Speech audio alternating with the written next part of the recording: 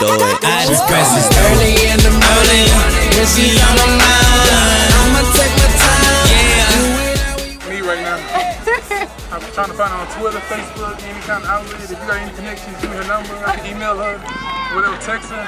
I got a new Uh, um, Brian's cool. Me.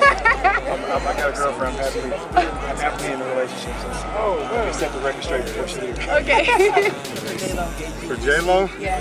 I'm gonna have to say Reggie Walker. Uh, say Calais Campbell. He needs you. okay. and- What you said? What? What you say? This is Reggie Walker, by the oh, way. Oh, they said that you're the most ugly bad for What's up?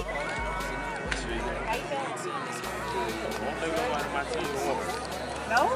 Without it.